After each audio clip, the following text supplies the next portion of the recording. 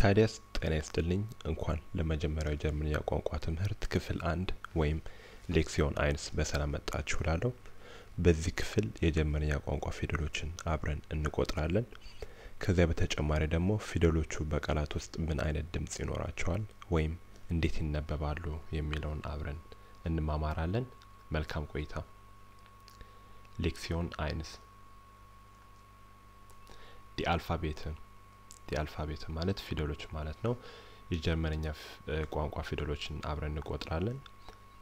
ፊደሎቹን ካልኩ በኋላ እናንተ ከኔ በመከተል መድገም ትችላላችሁ። A A B B ሴ ሴ ዴ ዴ ኤ ኤ ኤፍ ኤፍ ጌ ጌ ሃ ሃ ኢ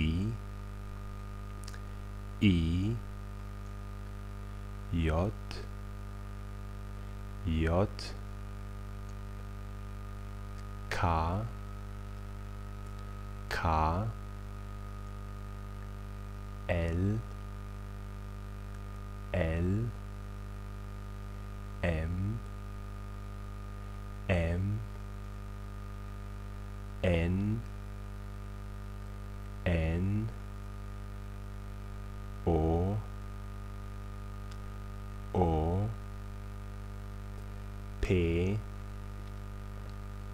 ፔ ኩ ኩ ኤር ኤር ኤስ ኤስ ቴ ቴ ኡ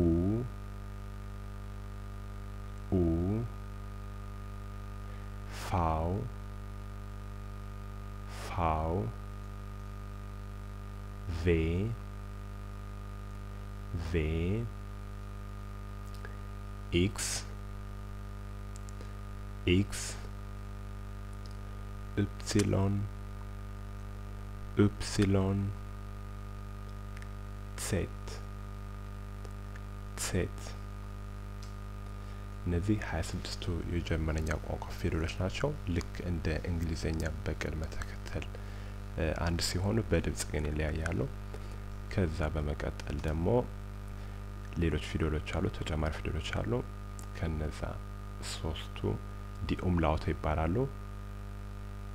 die Umlaute የመጀመሪያውን አብረን እናያለን። የመጀመሪያው A Umlaut ይባላል።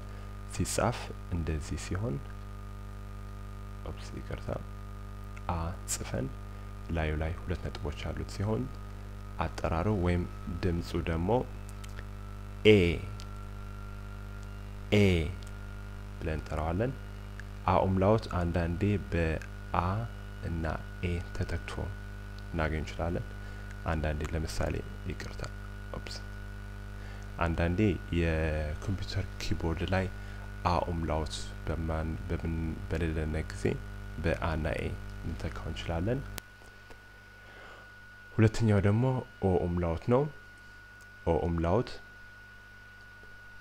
Ö Ö የሚል ድምጽ ይኖረዋል። ኦ ኡምላውትም በኦ እና ኤ ተተክቶ እናገኝ እንችላለን። ሶስተኛው እና የመጨረሻው Umlaut ደግሞ U Umlaut ይባላል። U Umlaut ድምፁ ደግሞ Ü Ü ነው። U Umlaut ወይም Ü በ U እና E ተተክቶ ልናገኘው እንችላለን። ከዛ ተጨማሪውና የመጨረሻው ደግሞ scharfes S ይባላል። scharfes S ሲጻፍ እንደዚህ ሲሆን Eszett Eszett ተብሎ ይጠራል። ይህ ማለት ደግሞ የ S እና Z ፊደሎች ድምር ነው ማለት ነው። ይህ ማለት ደግሞ በ S እና Z ይተካል ማለት አይደለም። ተተክቶ እንድናገኘው የምንችለው በ S S ወይም double S ነው። እነዚህ የጀርመንኛ ቋንቋ ፊደሎች ናቸው ማለት ነው። ከዚህ በመቀጠል ደግሞ die Vokale die Vokale ወይም አናባቢዎች ምን ምን ናቸው ማለት ነው? A E I O U Ä Ö Ü ናቸው። die Konsonant ወይም ድምፅ ሰጪ ወይም ተነባቢ የምንላቸው ደግሞ ከነዚህ ፊደሎች ከ A E I O U Ä Ö Ü ውጭ ሌሎች በሙሉ Konsonant ናቸው ማለት ነው። ለምሳሌ B፣ C፣ D፣ F እያለ ይቀጥላል ማለት ነው። እሺ ከዛ በኋላ ደግሞ die Aussprache ፊደሎቹ እንግዲህ በቃላት ውስጥ ምን አይነት ድምጽ ይኖራቸዋል የሚለውን እናያለን። A Apfel Apfel Apfel ፖም ማለት ነው። B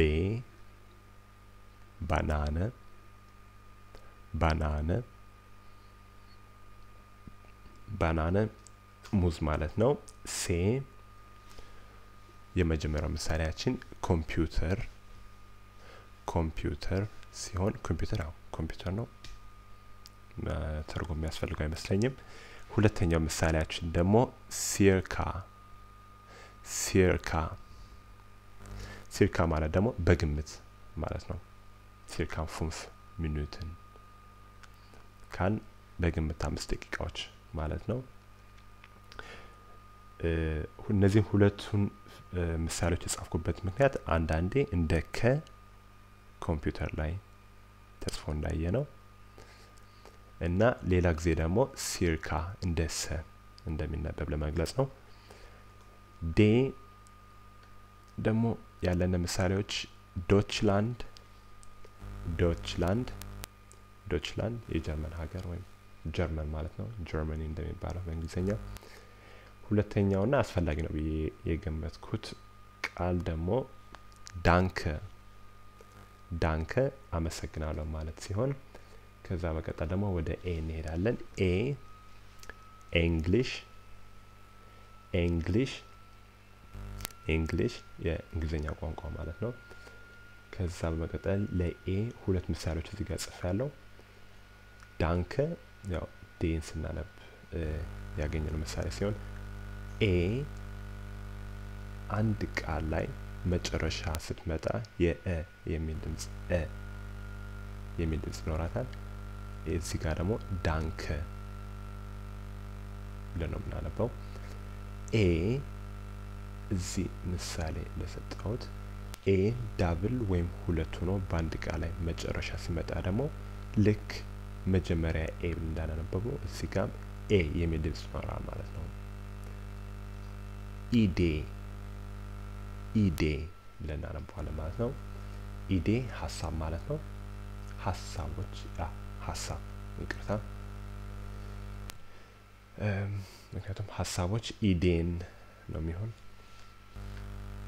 ከዛ መቀጠል ደግሞ F finden finden finden ማግኘት ማለት ነው። G gehen gehen መሄድ ማለት ነው።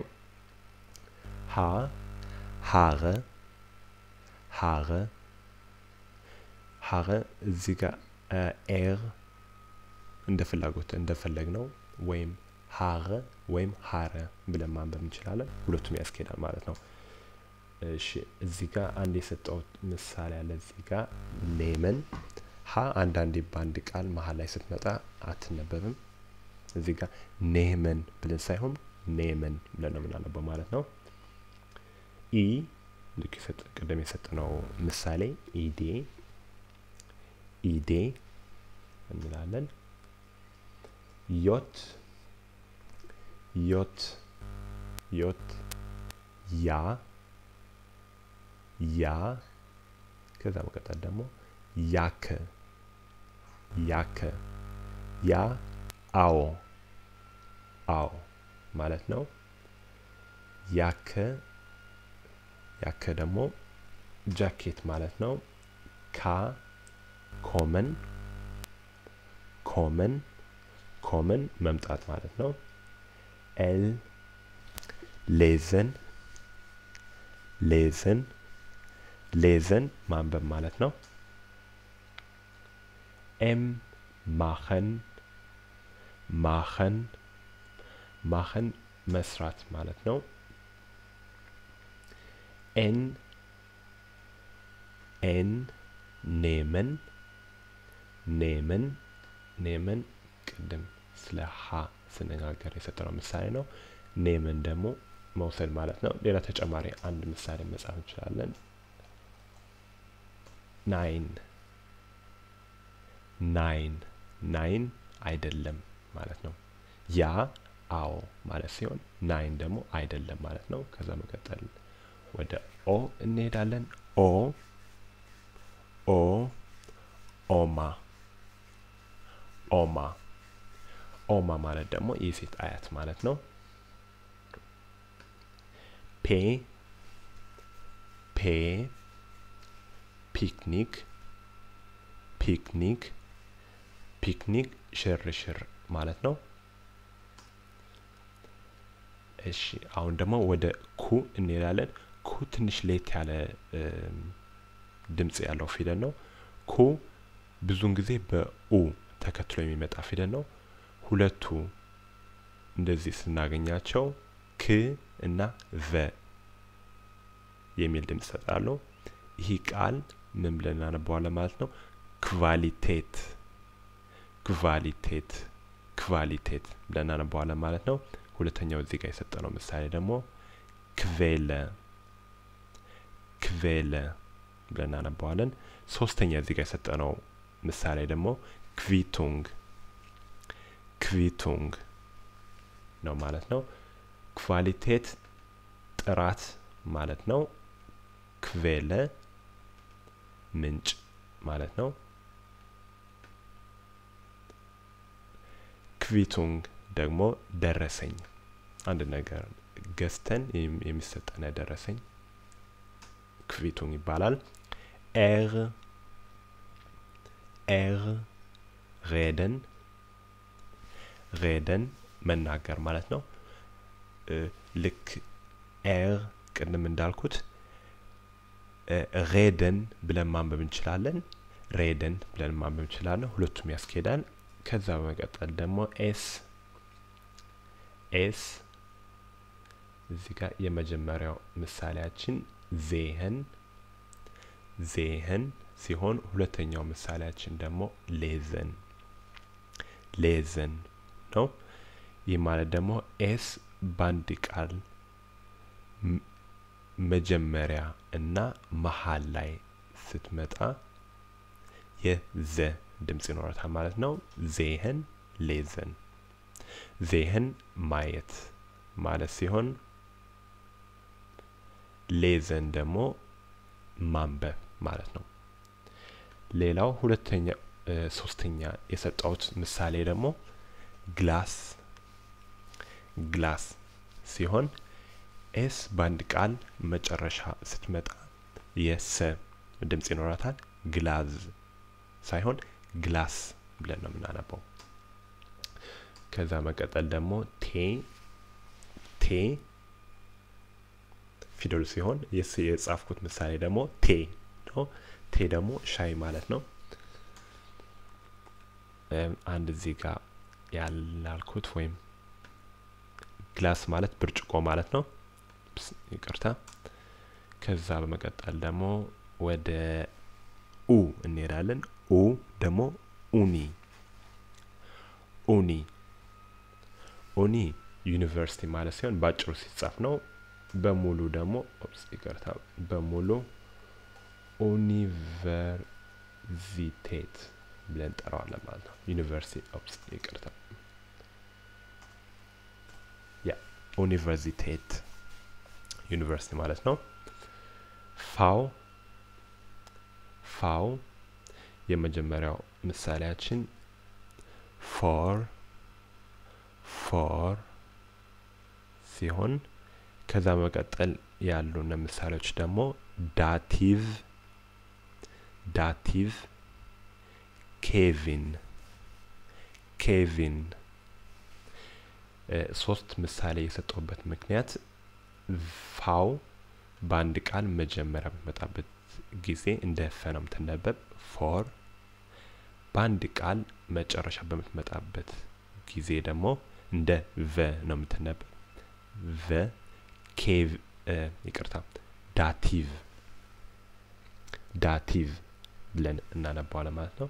በአንድ ቃል ውስጥ መሀል ላይ ስትመጣ ደግሞ የቨ የሚል ድምጽ ይኖረዋል። ኬቪን vor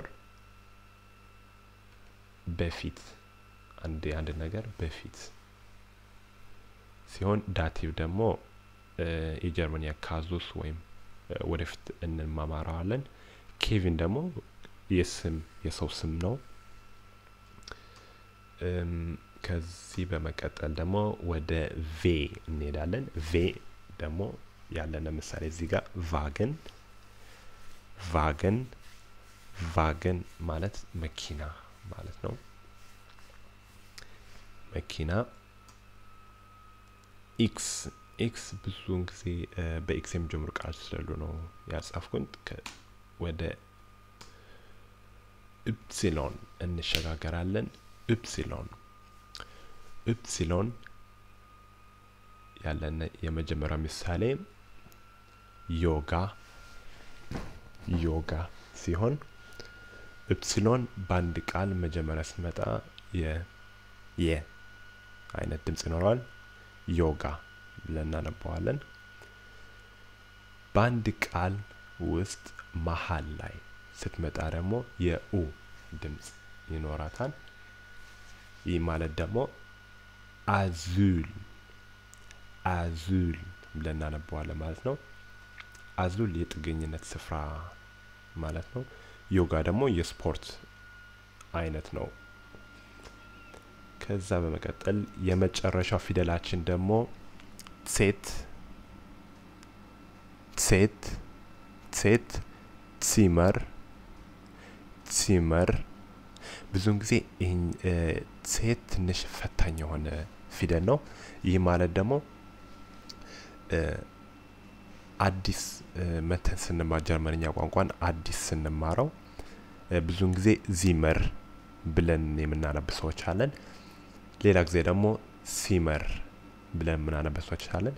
ግን ይህ ቃል ትክክል የሚነበበው ሲመር ሲመር ብለን ነው። በተሰ ብለን ጀምረን ከዛ በኋላ አናባቢውን አይተን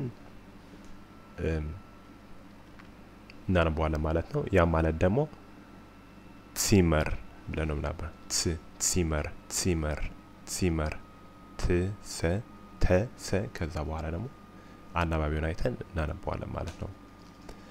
okay ከዚህ በመቀጠል ደግሞ die Umlaute ም ä ö ü ምን አይነት ድምፅ ይኖራቸዋል የሚለውን ስናይ ደግሞ እዚህ ጋር ä ä täglich täglich täglich ደግሞ እለታዊ ማለት ነው።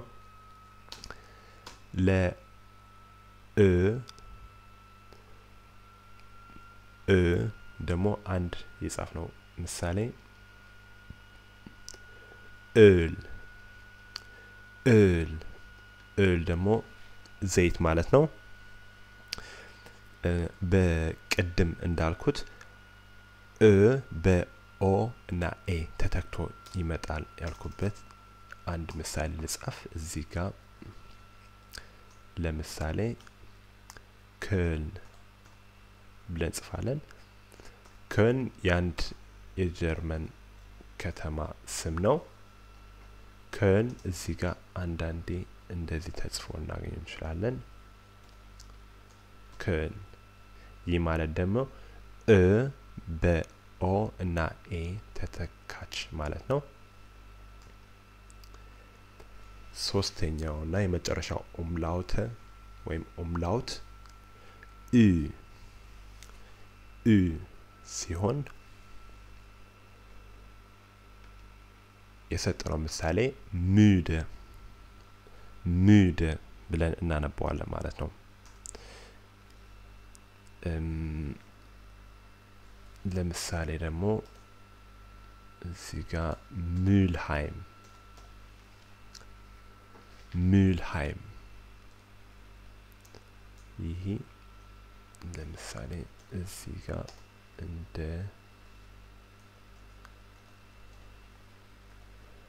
Mülheim እንደዚህ ተጽፎ እናገኝ እንችላለን ማለት ነው።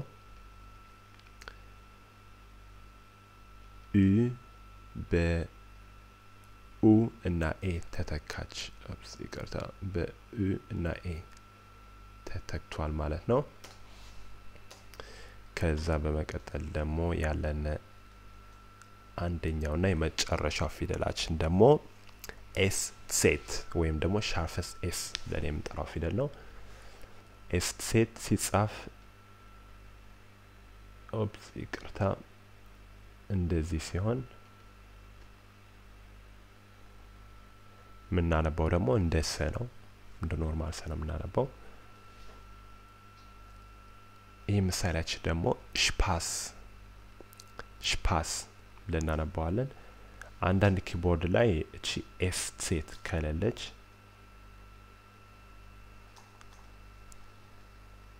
እንደዚህ አድርገን መጻፍ እንችላለን ማለት ነው። Spaß ማለት ደግሞ አዝናኝ ማለት ነው። ከዛ በኋላ ምን ይቀረናል? oops ja ጨርሰናል ማለት ነው። በጣም አመሰግናለሁ። ይህ ቪዲዮ እንዳገዛችሁ ተስፋ አድርጋለሁ። ያላችሁን አስተያየት፣ ምክር ወይም ጥያቄዎች comment ላይ ብትጽፉልኝ ደስ ይለኛል። መልካም ጊዜ ይሆንላችሁ። እስከ ክፍል ሁለት Tschüss.